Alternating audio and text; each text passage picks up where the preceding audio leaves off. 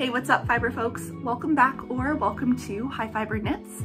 My name is Emily and today we're playing a little game I'd like to call Same But Different.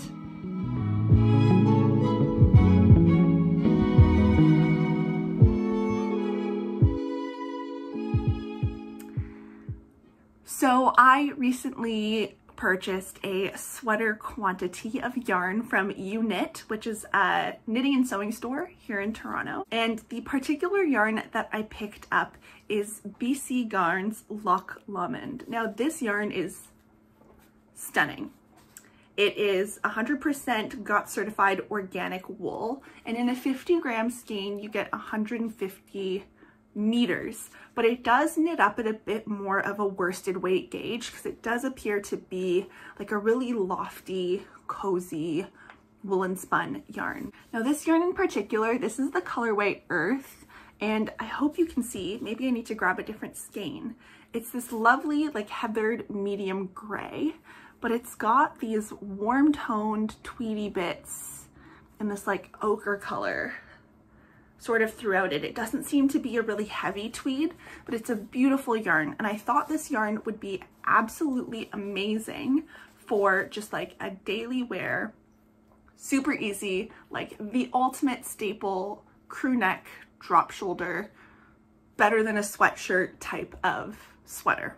Now, when I started looking at all of the different patterns for drop shoulder sweaters that are available on Ravelry, I sort of noticed that you know, all of the, or many of the big designers, um, namely like Petite Knit, my favorite things knitwear, Ozetta, Caidree, like all of these designers have their version or sometimes multiple versions of these staple types of sweaters, the drop shoulder, the raglan, etc. And so it really got me thinking about what about these sweaters is similar? What about these sweaters is different? Um, and what particular design features are leading me to pick one iteration of a really classic type of sweater over another. Now I talk about intentionality in yarn selections, color selections, pattern selections, intentionality and mindfulness in knitting in general. So I thought this could be a fun little video to sort of talk through a bunch of the different patterns that I considered. Um, mind you, most of these are going to be from bigger designers, but if you think there's any designers um, or patterns that are lesser known that I ought to consider, do, you know, give me your vote or link me to these patterns in the comments. I'd love to see them. Um, but yeah, the plan is just to sort of talk through a whole bunch of these different patterns today. But before we get into the sweater patterns, I do want to tell you about the sponsor of today's video, which is Merit Beauty. Now you've probably heard me talk about Merit Beauty a couple of times, but today I want to tell you about their one and only sale of the year, which is their Black Friday sale. Early access to the sale is going to start on November 21st, and the sale is going to run all the way until November 28th, so you have lots of time to make your picks. All of their individual products will be 20% off, but they're also going to have daily doorbusters for some of their most popular sets, which is probably going to include what I'm wearing today, which is their base set. In my opinion, the knockout product in the base set is their skincare product, which is Great Skin. It's a biphase serum that you sort of shake up and you pat into the skin when it's clean, no other products are on yet, and it's got niacinamide and caffeine. And these are two skincare ingredients that I was already using and already loving because they're amazing for smoothing and brightening out the skin. Even though Great Skin sets me up with a wonderful base, I do also use the Minimalist, which is Merit's concealer slash foundation hybrid. I wear the colorway linen so that it's light enough to go under my eyes, but is still also a close enough match uh, to go sort of around my mouth and my nose where I get most of my redness. And then for a little flush of warmth, I do love using the Bronze Balm. I'm wearing the color Quince, which is the lightest color, which I think is perfect for the fall slash winter season so that, you know, I still have a little bit of color, but I don't look like aggressively tanned or anything like that. And of course, I always have my brows done even if I'm not wearing any other makeup. So the Brow 1980 like little spoolie gel has been holding up so, so great. My brows stay in place. I have really long eyebrow hairs, so I've been really loving that product as well. Merit's products have really simplified my makeup routine. I can get it done in less than five minutes, no problem, but they're so fabulous because they are really lightweight and natural looking and leave my skin feeling super hydrated. And I feel like that's so important going into fall and winter here in Canada because it does get really cold and it does get really dry. So I feel like my skin's really well taken care of. If you are interested in shopping any of Merit's products in their Black Friday sale, I do have a link for you in the description box below. All of their orders over 40 USD do ship for free and if it's your first time placing an order, you'll also receive their signature bag, which is this adorable mustardy ochre colored corduroy bag. I'm still using it as a project bag. I absolutely love it. So thank you Merit so much for sponsoring today's video and keeping me looking fresh and cute. And with that, we're gonna jump into the sweater patterns. Now, the first two patterns that I want to talk about are my favorite things knitwear patterns. The first one is a much older pattern from her, and it's sweater number 14.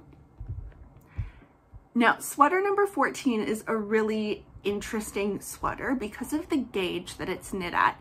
The pattern calls for sport weight yarn and two strands of lace to give you a bulky gauge when it's knit really, really loosely. So this sweater has a really oversized and relaxed feel to it. It's also got very minimal sleeve shaping and really wide chunks of ribbing. Another design feature that I find really interesting about sweater number 14 is that it has this high-low split hem. I feel like it's hard to do a really nice and clean split hem in knitting, or at least when I've attempted to do it, it hasn't turned out great. But I think for a sweater that's meant to be really easy and oversized, having the split hem can really help that bottom of the sweater skim over the body really nicely. Some issues with sweater number 14, however, are the yarns that the sweater calls for. You know, to knit a sweater with two strands of lace and also having that sport weight yarn in there to have the yarn you need for the project to come out exactly as hers has, you're going to be investing a lot of money.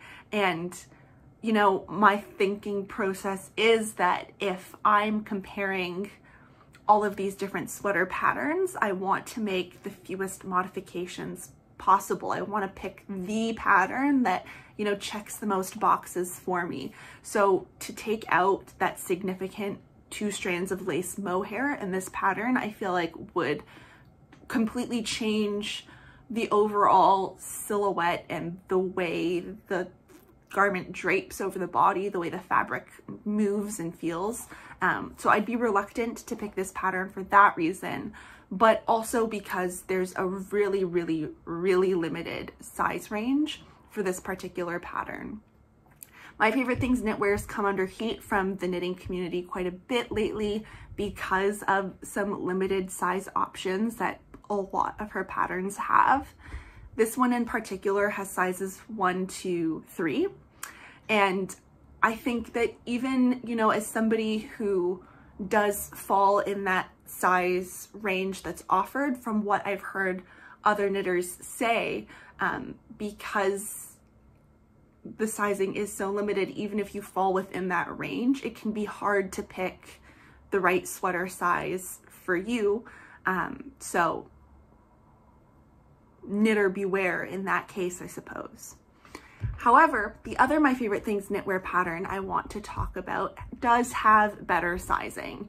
She recently put out sweater number 23, which aesthetically is supposed to be like a hybrid of some of her other really popular sweaters. Sweater number 23 is knit in Lamana's Como Grande yarn at an Aran weight or an Aran gauge. It's 17 stitches per four inches on five millimeter needles. And this sweater's got a much better size range. This sweater goes from an extra small to a 4XL, and I think the final circumference at the bust is 66 inches for the largest size. So there's definitely a lot of improvement there over some of her previous sweater designs. Some of the other things that I really like about sweater number 23 um, are, again, the really nice oversized look of the sweater, but also that collar detail where you can sort of see a few stitches spaced between the collar and where the increases are being worked. I think that it gives it a really clean um, and nicely finished appearance. However, one of the things I don't quite like about sweater number 23 is that 17 stitch per 4 inch gauge. I feel like from the photos on the pattern page itself and other photos I've seen from other knitters, something about the way that drop shoulder kind of the fabric folds around the underarm looks a little too bulky to me. And I don't know if it's because it needs more shaping or if the sleeves need some decreases worked in there.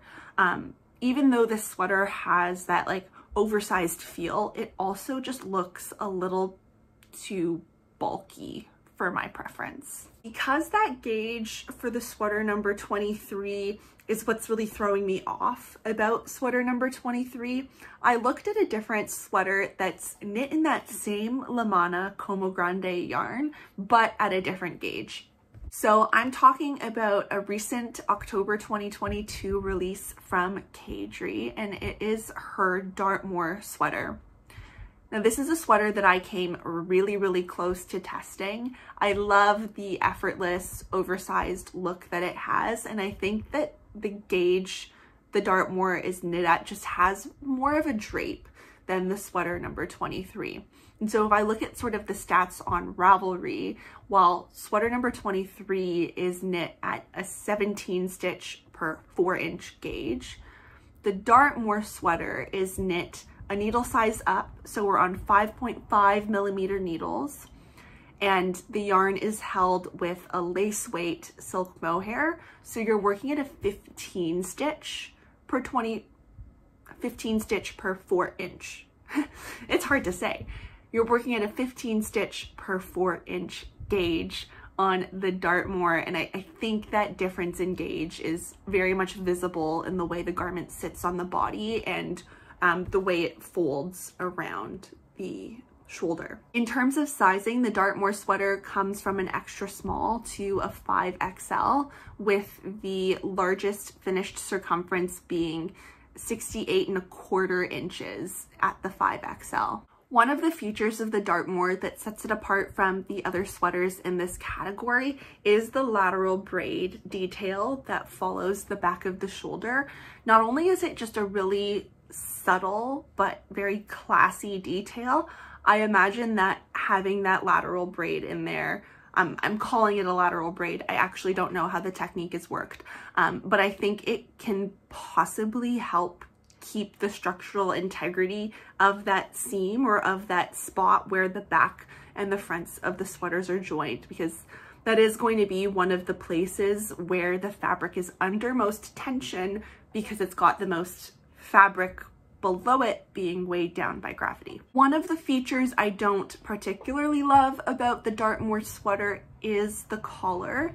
It doesn't look like it's double folded to me and in some of the pattern photos it does look like the collar kind of ripples or bags a bit around the neck. Now, you know, as I mentioned, you can make modifications and to do a double folded collar instead would be a really simple modification. Um, I think Laura from Penrose Knits test knit this sweater and she did that modification.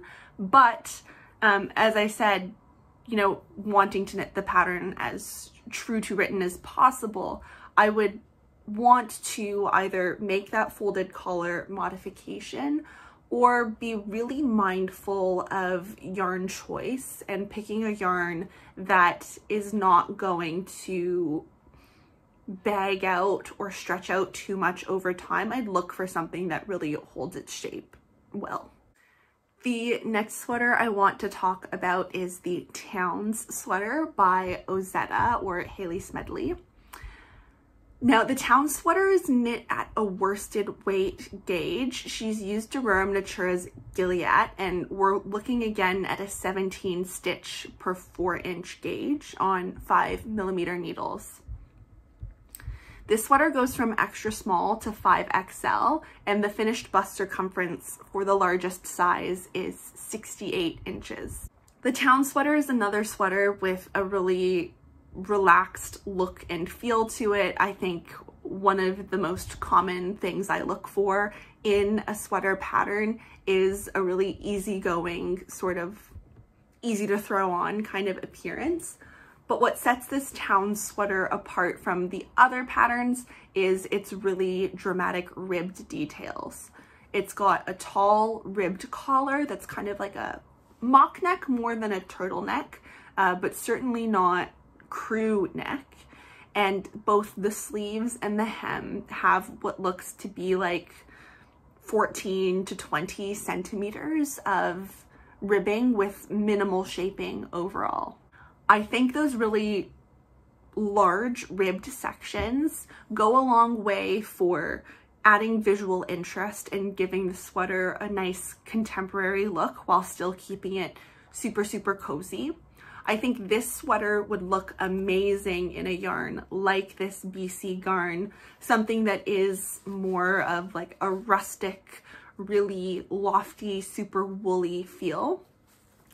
However, I think that if I'm looking for something that is good for everyday wear, I wouldn't go for something with as much rib as the town sweater has because um, and pretty much only because I like to tuck my sweaters into the waists of my pants or my skirts or whatever bottom that I'm wearing. And I think that having that much of a ribbed section would make it hard to do that like half tuck where it's just tucked at the front or just tucked at the side. I think the town sweater would be a really, really good option though if you're looking for something to layer over something like a pair of leggings because I think proportionally because you have that really long ribbing you can sort of extend the sweater a bit longer to sort of cover yourself up if that's what you want. The next sweater pattern that I've been looking at is the Marseille sweater by Petite Knit. The Marseille sweater is an absolute stunner. I think that the nautical stripes are super, super clean looking and really enhanced by the yarn choice that she's used.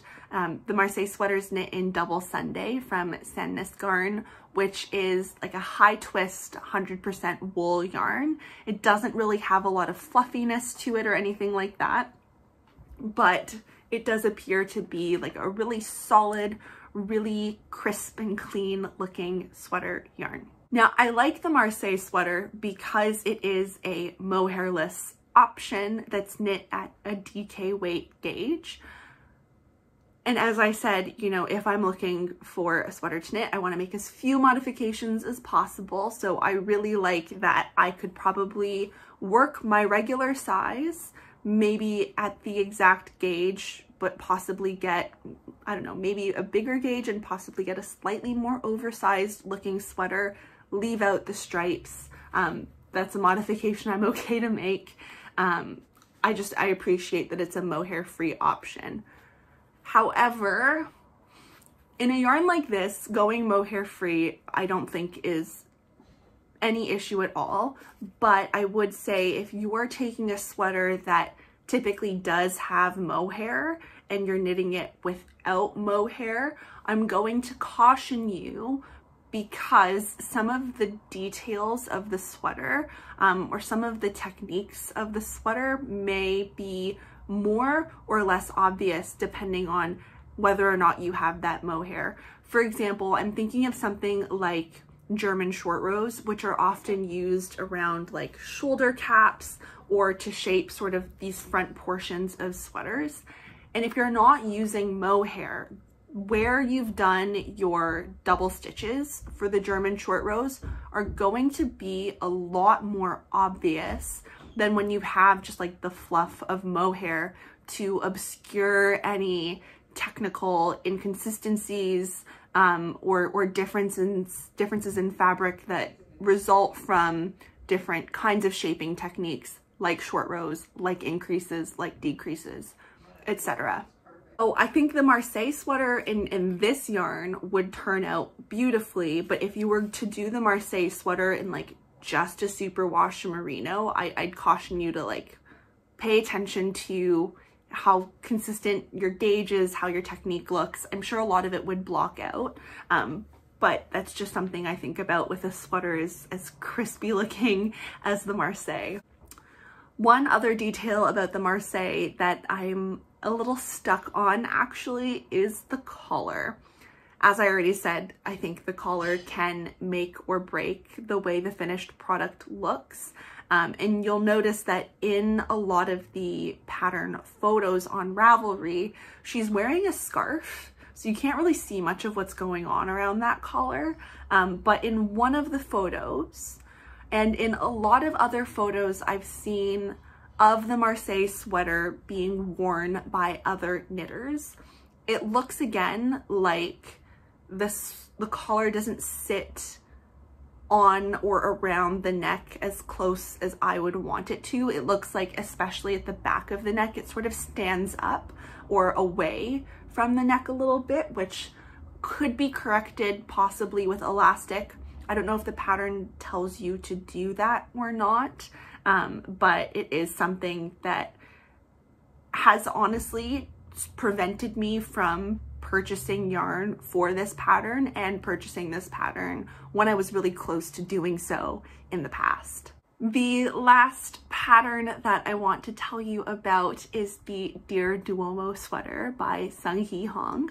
Now this is a DK weight sweater that's knit with a strand of fingering and a strand of mohair but it's knit on 4.5 millimeter needles. Now the other projects that I have knit with fingering plus mohair. I think I've only ever knit at a four millimeter needle. So I'd be really curious to see, you know, what the gauge of this kind of sweater would turn out like.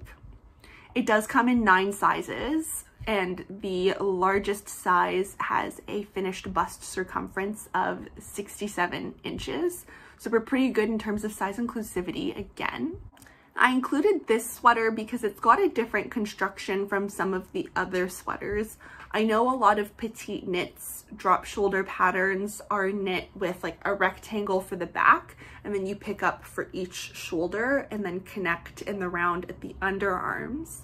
But the Dear Duomo is knit from the bottom up and then the shoulders are joined with a three needle bind off, which is a technique that I really like. I think the three needle bind off is good for drop shoulder sweaters, especially because um, as I mentioned, I think with the Dartmoor sweater, having sort of more gravity, not more gravity, but having more fabric weighing down sort of this top area of the shoulder the three needle bind off is going to add a lot of structural integrity to that seam, even compared to picking up stitches from a cast on edge and especially picking up stitches from a provisional cast on edge.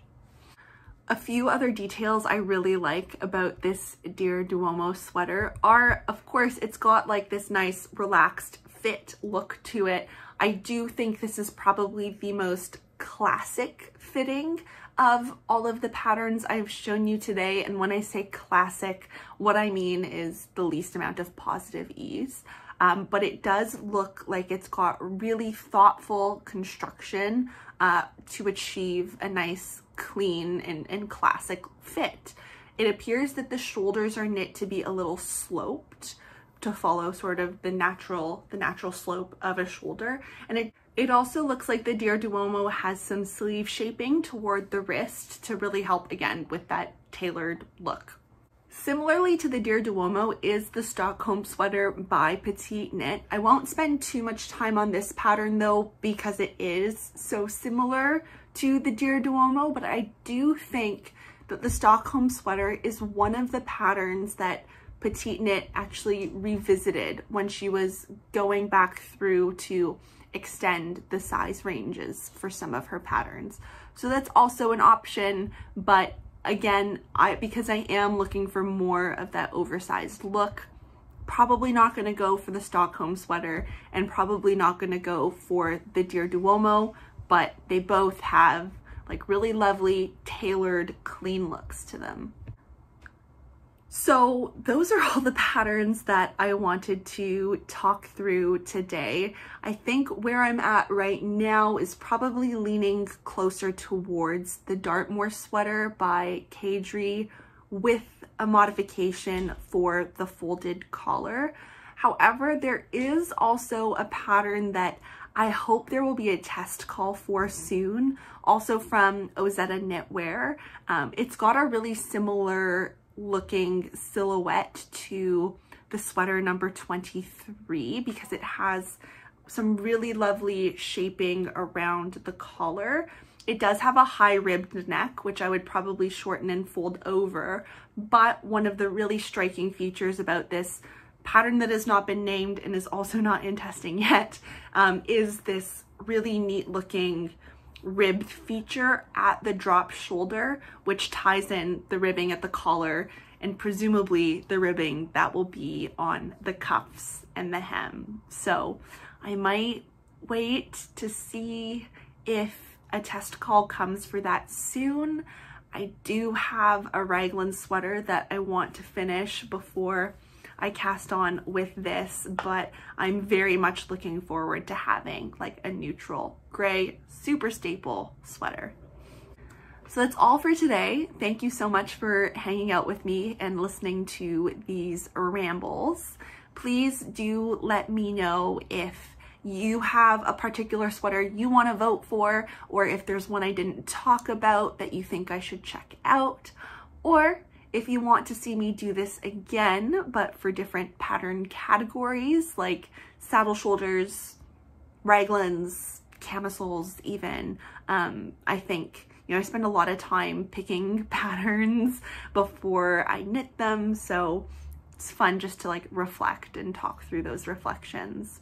And thank you so much to Merit for sponsoring today's video. Once again, if you're interested in shopping their one and only sale of the year for Black Friday, all of that information, including my link, will be in the description box for you. So until I get to see you all again, I am wishing you health and happy knitting. Bye everyone.